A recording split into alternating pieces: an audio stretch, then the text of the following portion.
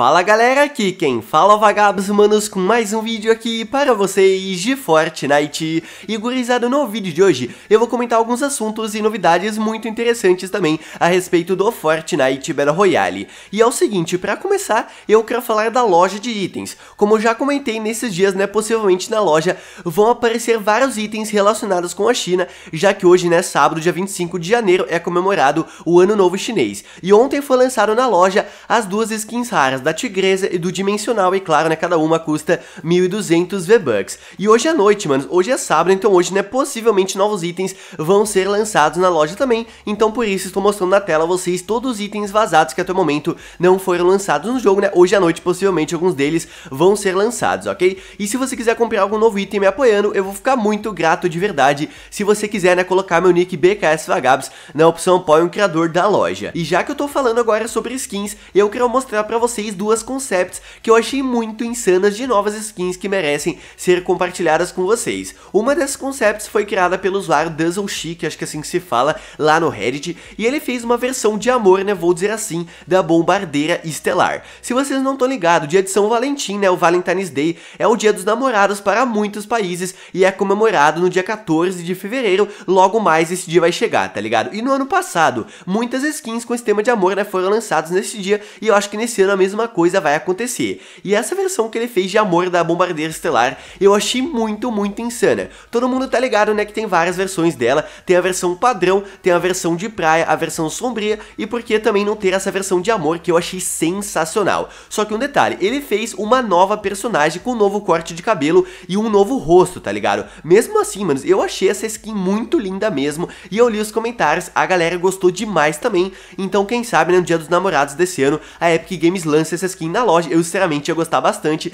mesmo assim é claro, né, apenas uma concept, nada confirmado que ela vai chegar no jogo, então comenta se você gostaria que essa skin fosse lançada também ou não. E a outra concept de skin que eu separei no vídeo foi criada pelo usuário eSkate. Bom, esse cara, né, eu já comentei muitas concepts dele no canal, porque ele tem ideias muito insanas, e a última ideia de nova skin dele é a versão sombria da skin da Rush, e olhem só como é que ficou, mano, ficou muito da hora também. Eu sinceramente gosto muito de skins sombrias, tá ligado, com o tema do cubo, e eu também gostei muito dessa skin que ele fez, dessa versão diferenciada da skin da Rush. E ele fez com dois estilos, a versão padrão, né, vou dizer assim, e a versão com o olho, né, da cor roxa, cor do cubo, que também ficou muito, muito da hora. Eu dei uma olhada nos comentários, o pessoal também gostou muito, só que muita gente comentou que já tá enjoado dessas versões sombrias de skins, já que ultimamente a Epic Games tá lançando muitas skins repetidas, só que na versão das sombras, versão sombria, já tá enjoando um pouco, tá ligado? Eu até concordo com a galera, porque de fato, ultimamente a Epic tá só, digamos que redesenhando desenhando as skins num formato um pouco diferente.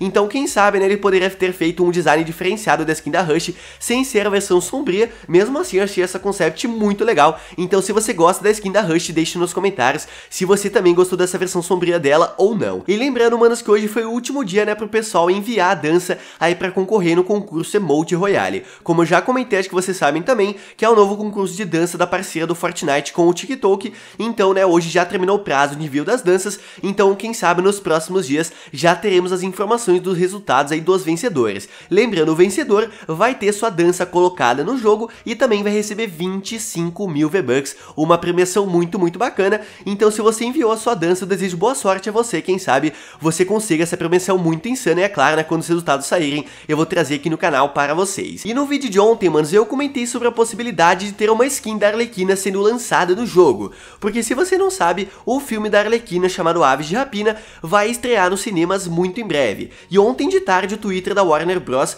publicou um vídeo em relação a esse filme e o Twitter oficial do Fortnite respondeu falando Te vejo em breve Arlequina, piscadinha marota. Bom, isso vocês já sabem porque eu falei no vídeo de ontem, correto? Mas o que vocês não sabem é que a Warner respondeu esse comentário feito pela Epic falando o seguinte Mal posso esperar. Então, manos, praticamente confirmando que de fato vai ter a skin da Arlequina sendo lançada no Fortnite. E um detalhe, o filme Aves de Rapina vai estrear nos cinemas no dia 7 de fevereiro, então tem uma grande possibilidade, né, que perto desse dia a skin da Arlequina dessa personagem muito conhecida vai ser lançada no jogo. Só que claro, né, nada 100% confirmado por enquanto, mas por conta dessas trocas de mensagens, eu acho que sim, a skin vai ser lançada, então se você gosta, né, da Arlequina, já prepare seus bucks aí na conta, né? Agora mudando de assunto, manos, eu quero comentar sobre essa notícia que fala sobre o novo jogo da Apple, que é muito parecido com o Fortnite, né, nesse estilo de Battle Royale. Olha Olhem só o que fala aqui. Battle Royale, novo jogo da Apple Arcade, é um Fortnite com comida no lugar de armas. Isso mesmo, olhem só a imagem né, de divulgação do jogo. Battle Royale é um jogo no estilo Battle Royale, obviamente, né, até o nome é muito parecido, como o próprio Fortnite. Em outras palavras, temos aqui um grande número de jogadores, reais ou bots, espalhados por uma arena que precisam atacar seus oponentes até que reste apenas um. A diferença é que aqui, a diversão é apropriada para toda a família, já que as violentas metralhadoras e mísseis são substituídos por atiradores de molho, uma bazuca de baguetes e poças de manteiga. A guerra de comida tanto pode ser jogada offline em modo single player contra bots gerados automaticamente, quanto online contra sua família, amigos ou usuários aleatórios conectados por meio do Apple Arcade. Aqui especificamente são 32 jogadores por partida e as batalhas duram 5 minutos ou menos, muito mais amigável né, para jogadores do que as longas guerras de Fortnite, por exemplo. O mapa do jogo é único, mas conta com 9 zonas diferentes para exploração. Bom, eu dei uma olhada na gameplay do jogo e tipo, não é o estilo de jogo que eu gosto muito, tá ligado? É um jogo mobile, né, tudo mais, bem mais simples, é claro, que o Fortnite, mas eu achei engraçado falar sobre isso no vídeo, já que é um novo jogo Battle Royale, né, que entra nessa fama do Battle Royale, só que não tem armas, né, como todo jogo tem praticamente, tem sim armas de comida, tipo, tem comida para você eliminar os oponentes, uma parada muito mais family friendly, né, vou dizer assim. Então, se você gosta de experimentar novos jogos Battle Royale, então conheça, né, o Battle Royale para você poder baixar, né, caso você quiser aí no Apple Arcade. E tipo assim, eles comentam aqui um negócio que eu achei bem interessante, que nesse jogo tem um modo offline, single player, que você joga uma partida só contra bots. E, manos, eu já comentei muitas vezes no canal que eu acho essa ideia muito boa para ser colocada no jogo, no Fortnite no caso, tá ligado? Porque, tipo assim, temos o modo parquinho, né, o modo uh, criativo e tal, só que não temos o modo offline. E muitas vezes o pessoal tá lagado ou não quer jogar, tipo, com pessoas em partidas, quer só treinar e contra bots seria uma parada muito legal. Eu acho que uma partida de Fortnite, né, offline seria um negócio muito show. Eu não sei se será fácil, né, para os servidores aguentarem isso, né, mesmo assim, eu acho uma ideia muito bacana. E se esse jogo mobile tem essa função, quem sabe o Fortnite pode ter no futuro também, né, enfim, quem sabe no futuro eles lancem um modo offline. Comente se você acha que seria bacana pro jogo ou não. E por fim, gurizada, o último assunto que eu separei nesse vídeo é sobre o conjunto de desafios da prorrogação da skin da Chique, que vai ser lançado aí na próxima quinta-feira, no dia 30 de janeiro, ok? Os desafios já foram encontrados dentro dos arquivos, mas é claro, serão lançados somente na próxima quinta. Então se você gosta da skin da Chique, que é essa skin do passe de batalha, na próxima quinta, quando os desafios forem liberados, completando eles, você consegue esse novo estilo para a skin, um estilo que eu achei bem bonito, e um novo estilo para sua asa delta também, ok? Olhem só, o primeiro desafio vai possuir dois estágios. O primeiro estágio é para você atingir a categoria 80 do passe de batalha, para você conseguir, é claro, a skin da Chique. Eu acho que todo mundo, né, conseguiu essa categoria, afinal essa season tá demorando um bom tempo já. E o segundo estágio para você completar os nove desafios da prorrogação da skin da Chique, que eu vou falar agora, né, sobre eles aqui para vocês, que você consegue um novo estilo para a sua asa delta. O segundo desafio, e agora sim começa de fato os desafios,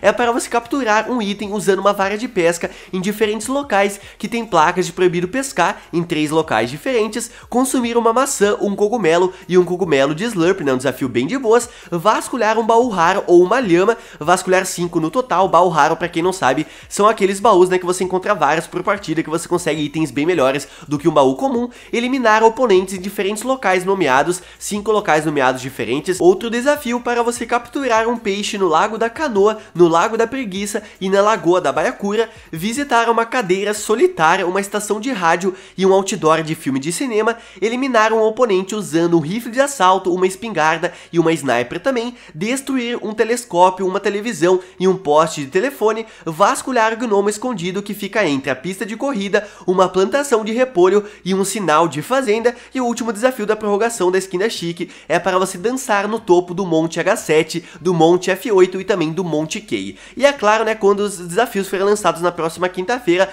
eu vou trazer um vídeo no canal dando dicas para vocês de como resolver, já que tem alguns desafios, né, que pelo jeito não vão ser tão simples assim, é claro, eu vou mostrar tudo no vídeo, vai ser muito simples para vocês resolverem, ok? Mas então é isso, galera, espero que vocês tenham gostado aqui do vídeo, comente aí embaixo a sua opinião sobre os assuntos que eu falei aqui, o que você achou das duas concepts que eu mostrei do vídeo de novas skins que poderão ser lançadas no futuro, eu achei o design delas muito, muito bem feito mesmo, mas enfim, né, comente o que você achou das skins. E se você gostou do vídeo, manos, deixa o like porque não custa nada e me ajuda demais, e também mande para amigo seu, né, que adora a skin da Chique, para ele ficar ligado nos desafios da prorrogação da skin que vão ser lançados na próxima quinta-feira, assim ele consegue o um novo estilo para essa skin aí do passe de batalha. Então é isso, manos, aquele abraço, se vemos no próximo vídeo, valeu, falou e eu fui!